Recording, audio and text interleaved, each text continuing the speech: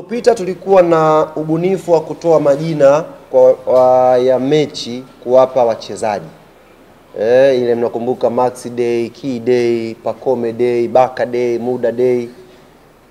Anauliza msimu huu vipi? Niwaambie ndugu zangu waandishi wa habari, Young Africans ni kisima cha ubunifu, ni kisima cha ubunifu. Hapa kwenye taasisi yetu tunao watu ambao ni vichwa kwelikweli, na tumekuja na aina nyingine kabisa tofauti kabisa. Tumeshafanya msimu ule na hatutaki kurudia rudia. Kurudia rudia mambo sio staili zetu. Sisi tunafanya, tunaweka historia, tunabuni kitu kingine, tunakwenda mbele. Kwa hiyo kuhusu majina ya wachezaji kupewa kwenye mechi, hiyo ilikuwa project ya last season. Msimu huu hamtasikia mechi ikipewa jina la mchezaji. Tumeshavuka hiyo hatua, tumeshaimaliza. Tukifanya sana ikajirudia sana, mtaizoea, alafu mwisho wa siku itapoteza nguvu yake. Ile imeshakuwa historia, tumeshaiacha pale. Msimu huu tunakuja kivingine, na kama ilivyoanza ile Max Day, tutakuja kuwaambia ubunifu wetu upoje. Mechi hii ya Jumamosi tumeiacha kwa sababu specific ni opening ceremony ya CAF Champions League. Hatutaki kuingiza na kitu kingine. Yaani sisi tunakwenda kuizindua hii michuano, tunakwenda kufanya ufunguzi wa Champions League. Tumeiacha yenyewe opening ceremony ya michuano hii ili Afrika yote ije na ienjoy siku ya Jumamosi. Lakini kwenye mechi zetu, hii ni rasmi sasa, nawatangazia, tutakuwa hatuna majina ya wachezaji. Ni ubunifu ambao tuliofanya msimu uliopita, na tuwachukue fursa hii kuwapongeza ndugu zangu waandishi wa habari kwa kuisapoti, na tumeshafunga faili hilo. Mechi ya mwisho ambayo tuliipa jina la watu ilikuwa ni Wazee Day, si ndio bwana eh? E, Wazee Day last season kwenye dabi tukapata supu nyingine. Namshukuru Mwenyezi Mungu, tumefunga hilo jalada, halipo tena. Tunakuja na ubunifu mwingine kuwaonyesha kwamba sisi kama Young Africans tuna vijana wengi ambao ni vichwa, wanaweza kubuni vitu vingi kwa ajili ya maendeleo ya klabu yetu Young Africans. Nafikiri nimejibu swali lako vizuri kabisa. Swali la pili, karibu. Young Africans inachotafuta ni wanachama wa klabu yake, haitafuti wanachama wa tawi la Kariakoo, wanachama wa tawi la Yombo, wanachama sijui wa Mwanza mjini au Dodoma. Wanaotafutwa hapa ni wanachama wa klabu ya Young Africans. Kwa nini kwanza tuligawa umri, yaani tulitengeneza kategori ya 18 35? Kile mwenezi Kindoki yuko hapa. Tukienda kwenye mfumo wetu wa wanachama, idadi kubwa ya watu ambao walikuwa wamejisajili ilikuwa inaanzia 35 kwenda juu. Namba kubwa ya watu ambao walikuwa wamejisajili kuwa wanachama wa klabu yetu Young Africans, miaka 18 kuja 35 ilikuwa ni asilimia kumi na mbili ya wanachama zaidi ya elfu ngapi? Tumefika elfu themanini sasa hivi eh? Asilimia kumi na mbili ndio ilikuwa ni vijana wa miaka kumi na nane mpaka 35.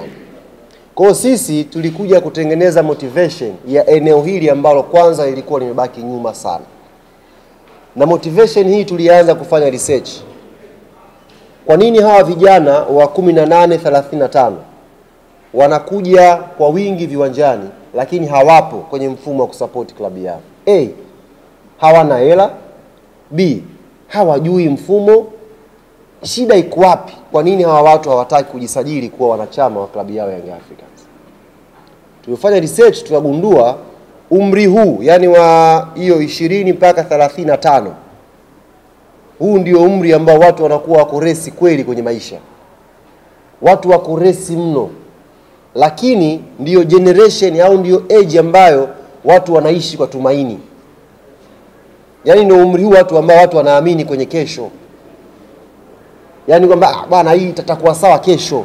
Unajua, ukishafika miaka arobaini kuanza kuamini kwenye kesho inakuwa kidogo mtihani, lakini umri wa miaka ishirini unaweza ukafanya jambo leo ukaamini utasahihisha kesho.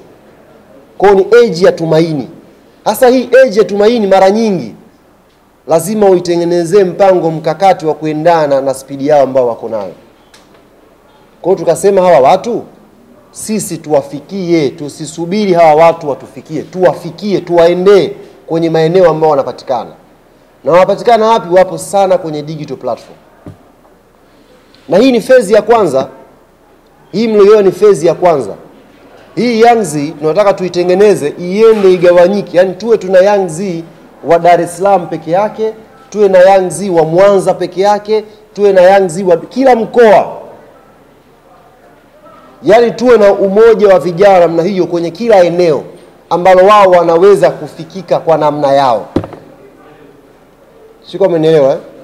Sasa huyu mtu mwenye miaka 35 ambaye kigezo kimemkuta mwishoni kwamba atakiwa ajiunge leo, huyu ajue kwamba kwanza ataenjoy kwenye uzinduzi, ataenjoy, ila ikifika mwakani sisi tutamtafutia tawi, yaani maeneo ambako anapatikana, kwa sababu ilikuwa na changamoto ya kujiunga, tutaanza kumpa elimu sasa, bwana, hapa ambako unaishi Salasala kuna tawi hili jirani, unaweza kujiunga nalo.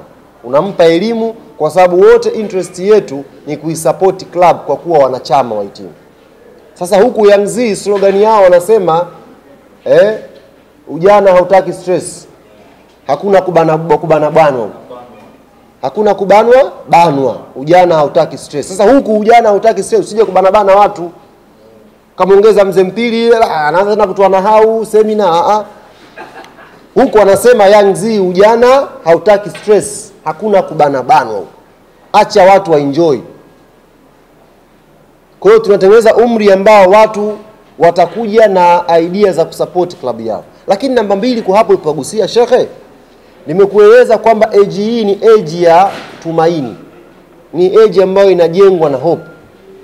Sisi kama klabu ya Young Africans tunatambua umuhimu wa eji hii, sio tu kwenye maendeleo ya klabu yetu, pia kwenye maendeleo ya taifa letu. Ndani ya tawi hili one of the benefit ambayo wanaweza kuipata vijana wa kujiunga na tawi hili ni opportunities, yaani huku patakuwa na fursa nyingi ambazo individuals zinaweza kusaidia wewe kutoka sehemu moja kwenda sehemu nyingine.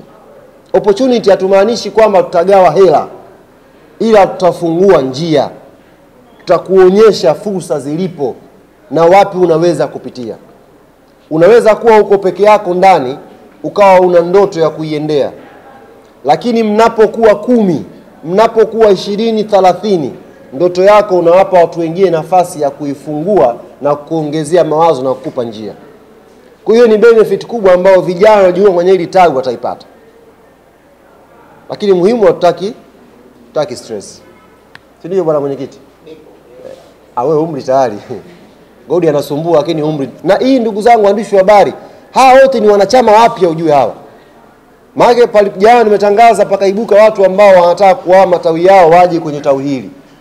Mkurugenzi wa idara hii Ibrahim Samuel akablock huo mfumo, yaani huwezi kuhama.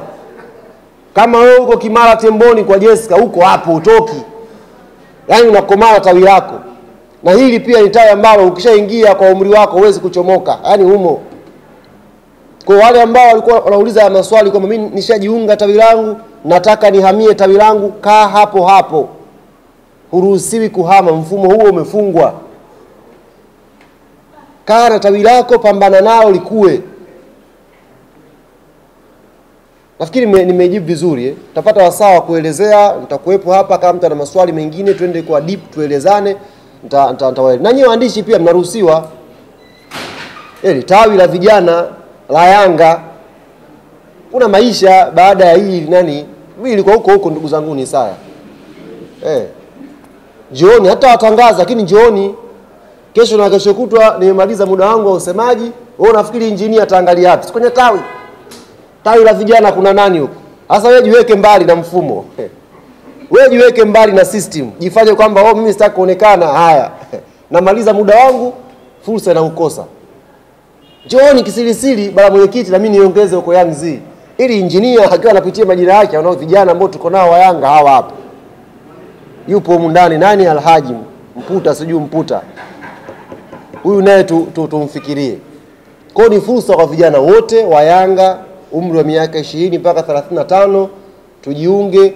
Uzinduzi tukishafika wanachama 500 rasmi, yani hapa kwenye usajili huo ukamilika 500 Nitarudi hapa kuwatangazia uzinduzi utakuwa wapi, lini na tunakwenda vipi. Tutawaalika pia matawi mengine eh, tuna matawi mengi mengi ambao ni marafiki, tutawaalika tuje tuenjoy pamoja siku hiyo.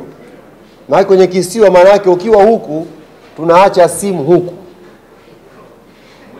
eh, tunaacha simu zote kwenye kapu, tunavuka na boti letu hey. Stay in Paris. Asanteni sana ndugu zangu waandishi wa habari.